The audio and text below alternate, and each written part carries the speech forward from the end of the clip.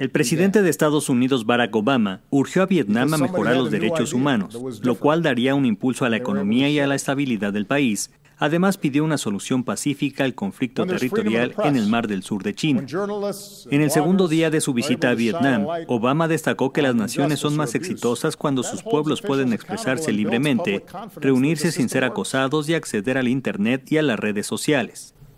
When candidates can run for office and campaign freely, and voters can choose their own leaders in free and fair elections, it makes the countries more stable because citizens know that their voices count and that peaceful change is possible. And it brings new people into the system.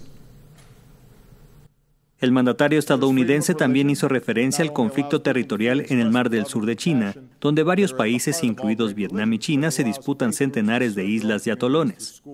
Obama pidió a las partes implicadas una resolución pacífica negociada conforme a la legislación internacional y defendió el derecho de los países a la libre navegación en una región que acoge un tercio del tráfico mundial marítimo.